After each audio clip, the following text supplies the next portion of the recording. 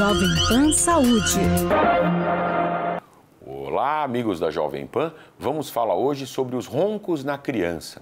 Então, é uma situação bastante comum e corriqueira, é, os pais buscarem orientação quando a criança apresenta roncos noturnos. Sim, é algo que deve ser procurado, deve ser investigado, porque pode trazer uh, um, enormes problemas. Desde a arcada dentária, então com a respiração bucal, em que a arcada dentária fica protusa, e aí ter-se a necessidade do uso do corretor, do, do aparelho ortodôntico, uh, até outros problemas a criança deve ter uma boa qualidade respiratória durante a noite para que ela efetivamente descanse, entre em todas as fases do sono, tenha seu repouso absoluto, tenha uma boa oxigenação cerebral, tenha compreensão e interpretação de todo o mundo que é, é apresentado a ela.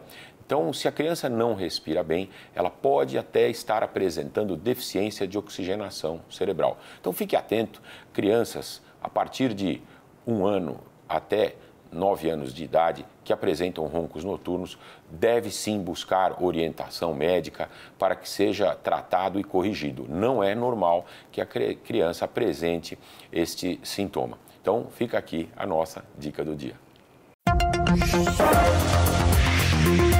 Jovem Pan Saúde.